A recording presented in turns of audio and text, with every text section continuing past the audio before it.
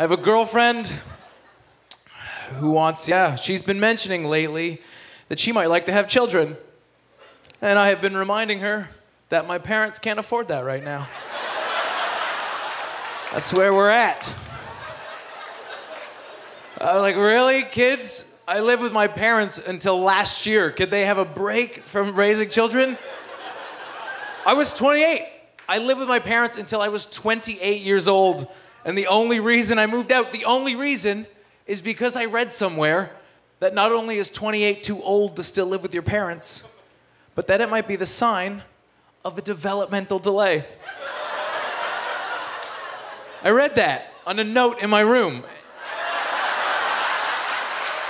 And I left. I was out. I was God.